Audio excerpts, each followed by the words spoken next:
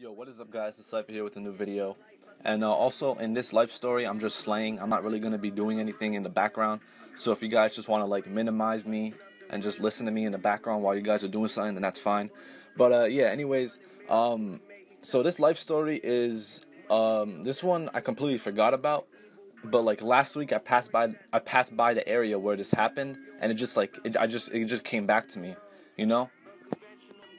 Alright, so this life story is pretty weird, and even like even I could admit that. So one day I finished playing basketball at the park, like 20 minutes away from my house. So I dabbed up on my boys, and like and then everybody left. They're like, ah, yo, cause it got late, so everybody's going home. So I'm like, oh, alright, yeah, peace.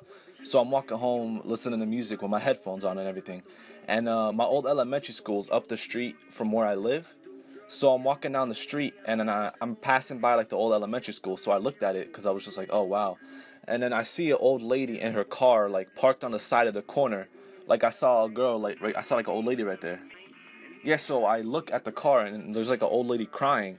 So I start I start like walking slower and I think if I should like knock on the window or help her something cuz like nobody wants to see old lady crying, you know? So she starts like staring at me hard body and she keeps crying even harder. And I'm like, what the fuck did I do? Like, do I look, am I that ugly type shit? You feel me?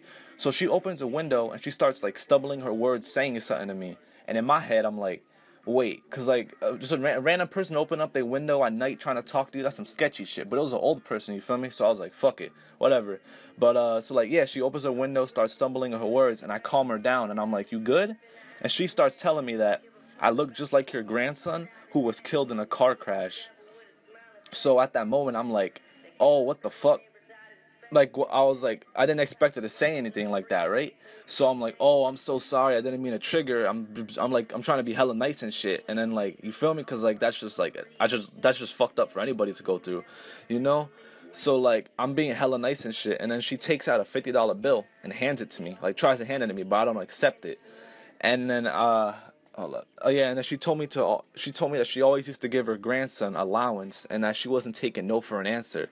And I said like, nah, I don't want to take it. Like around ten times, and then like, and then like, then I finally asked her if it's okay for me to take it, cause like I just don't want to take something like from her after what she's going through. You feel me? But like, and she said she would feel a hundred times better if I did it. So I took it and I told her it's okay and like bless you and God's with her and I'll pray for her and all that stuff. And she said okay and like then she started crying again and she closed the window and I just kept walking. So on the way home, I'm still like like that's just like that's like something so weird to realize just out of nowhere. You feel me? Like like that just happened to you. So yeah, so then I'm like, oh shit.